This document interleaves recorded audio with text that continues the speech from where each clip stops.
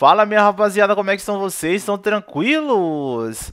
Hoje neste vídeo vamos falar sobre a live de Devil Novaes, o que rolou na live do boyzinho. Mas antes do assunto, eu gostaria de pedir para você que está chegando aqui agora, primeiramente seja bem-vindo, não se esqueça de se inscrever no nosso canal, ativar o sininho de notificações e deixar o seu like para você se lembrar toda vez que eu postar conteúdos novos aqui.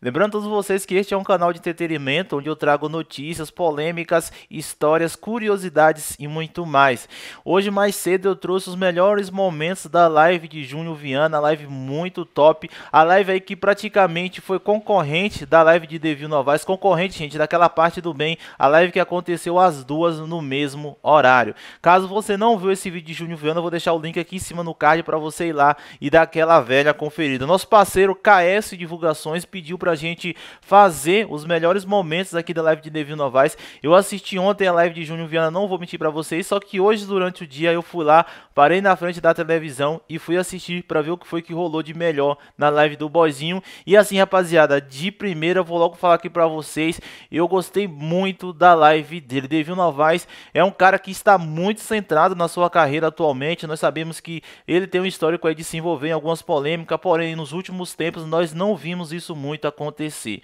O pico da live de Devil Novaes bateu ali em média de 10, 12 mil pessoas assistindo simultaneamente Emerson, esse número foi um número bom ou foi um número ruim?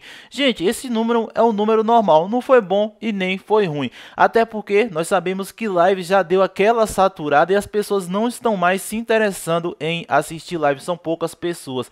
E além do mais, ele concorreu com Júnior Viana, como vocês sabem, ele é um dos maiores cantores de forró da atualidade. Mas lembrando também que Devil Novaes também é um dos melhores cantores de arrocha. Porém, nós temos que dividir essas coisas porque são todos dois do Nordeste, porém hoje em dia nós não sabemos qual público é do forró, é do arrocha. Acho que hoje o público está escolhendo a música boa de verdade, não que Devil não está cantando música boa.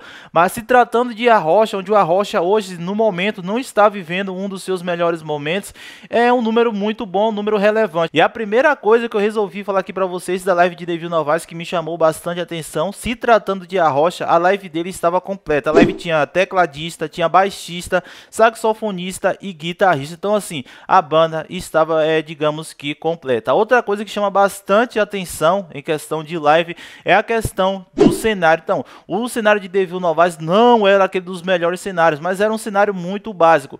No, hoje em dia, no momento que nós estamos vivendo, como eu falei para vocês anteriormente, não adianta um cantor ir lá e criar aquele super cenário avaliado em mais de 5 ou 10 mil reais, sei lá, aquele cenário sertanejo Gustavo Lima, etc. Assim, porque os cantores sertanejos ele tem muita verba para criar um super super, uma super produção. Então, assim, o cantor nordestino em si, a questão do dinheiro é muito baixíssimo. Tem que ser assim, algo muito simples, mas algo muito interessante. É aquele ditado, né? O simples faz a diferença.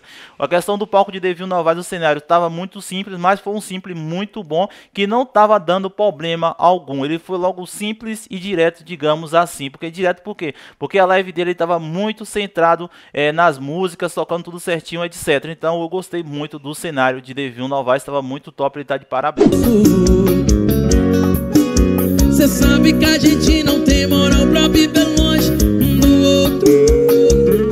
outra coisa também que chama bastante atenção é a questão de visualizações. Hoje a live de Devil Novaes estava com quase 260 mil visualizações, um número muito bom, se tratando do momento que estamos vivendo na, na, música nordestina, onde que é o piseiro que está dominando. É assim, o público é o seguinte, o público fala, ah, eu sou fã de não sei quem, aí aquele cara vai caindo um pouco da mídia, já não é mais, ah, sou fã de, ah, mano, assim, o público já sabe como é que... Então, assim, o número está muito bom também. Vai ver que um dia a gente se encontra vai deixar o acaso tomar conta. Devil Novaes começou cantando a música Brincadeirinha que deu nome à sua live. A música Brincadeirinha, sua nova música de trabalho, é um feat que ele fez com o cantor Menonico. Era pra ter sido só brincadeirinha,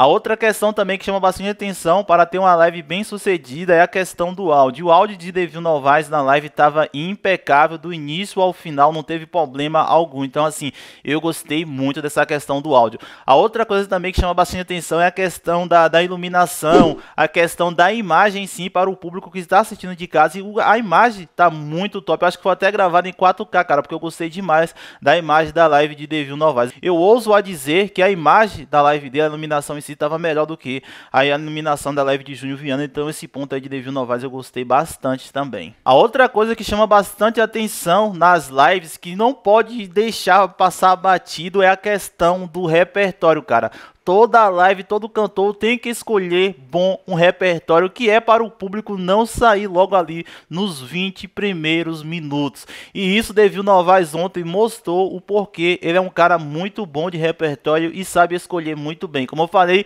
ele começou cantando a música Brincadeirinho, feat dele com Menonico, e ao longo da live ele foi cantando músicas que estão fazendo um grande sucesso nesse momento. Músicas de piseiro, músicas sertaneja, por exemplo, ele cantou música de DJ Ives, cantou cantou música de DJ Ives com DJ Guga, cantou música de Tarcísio do Acordeon, Zé Vaqueiro, Israel e Rodolfo e vários outros cantores. Então, assim, eu assisti a live todinha e gostei muito, velho, do repertório, de verdade, porque assim, ele diversificou muito o repertório e as pessoas que estavam em casa assistir a live tranquilamente, porque tinha música para todo gosto. Tem assim, porque as coisas têm que se encaixar. Se a pessoa está gostando daquela música naquele exato momento e gosta de Devil Novaes, então as coisas batem tudo certo. A música que a pessoa gosta e a voz do cantor e a imagem do cantor em si. Ele escolheu bastante o repertório, um repertório bastante romântico, é, diversificou sim, mas era um repertório romântico. Então nessa questão do repertório aí, Devil Novaes está de parabéns. Ele também cantou algumas músicas de seu novo repertório que ele vai lançar em breve,